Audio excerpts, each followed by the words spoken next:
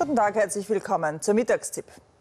Eigentlich sollte der Korruptionsuntersuchungsausschuss heute wie geplant seine Arbeit fortsetzen und verdächtige Geldflüsse untersuchen.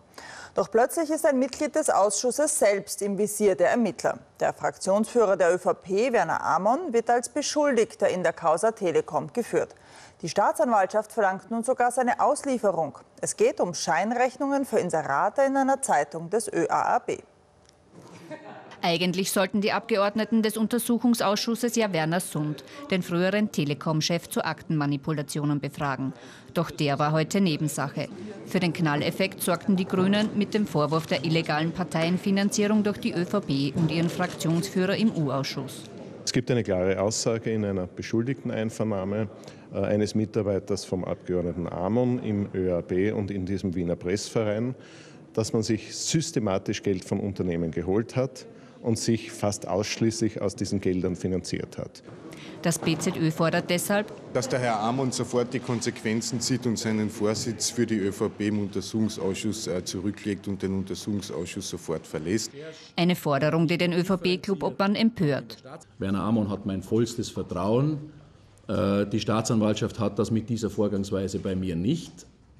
Ich sage Ihnen ganz offen, ich denke nicht daran, äh, an der Fraktionsführerschaft des Werner Amon auch nur eine Sekunde zu zweifeln. Kopf macht sich deshalb große Sorgen um den Rechtsstaat. Und wir gehen jetzt live ins Parlament zu meinem Kollegen Andreas Bosch. Er steht direkt vor dem Ausschuss lokal. Was sagt denn eigentlich Werner Amon heute Vormittag dazu?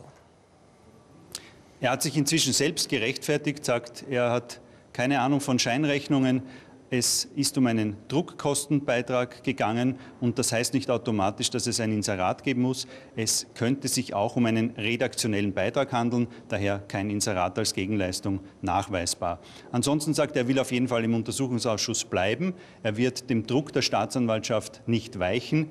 Er fühlt sich auf jeden Fall unschuldig. Die ÖVP vermittelt ein bisschen den Eindruck, dass Werner Amund da jetzt von der Staatsanwaltschaft verfolgt wird, weil er sich kritisch zur Staatsanwaltschaft geäußert hat wegen der Campusch-Ermittlungen.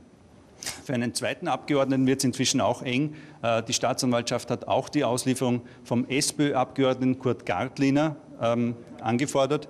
Der soll von der Telekom 100.000 Euro bekommen haben. Völlig untergegangen ist heute Vormittag ja dann äh, das, was eigentlich am Plan stand, nämlich die Einvernahme des ehemaligen Telekom-Chefs Sund. Gab es da eigentlich irgendwelche neuen Informationen? Heinz Sund wurde heute drei Stunden lang befragt. Zur Wahrheitsfindung hat er wenig beigetragen. Bei den spannenden Fragen nach möglichen Kursmanipulationen hat er sich der Aussage entschlagen. Was man seit heute weiß, ist, Sund hat selbst etwa 200.000 Euro erhalten durch diese Kursmanipulation, die angebliche. Aber sonst hat er heute sich in den konkreten Punkten immer der Aussage entschlagen. Da gab es heute nicht sehr viel Neues. Und der Ausschuss hat auch bis heute nicht die Liste derjenigen Telekom-Manager von damals, das sind ja bis zu 100 Personen, die von diesem Kurssprung profitiert haben. Andreas Bosch, herzlichen Dank für diesen Live-Bericht aus dem Parlament. Das ist eine Schweinerei.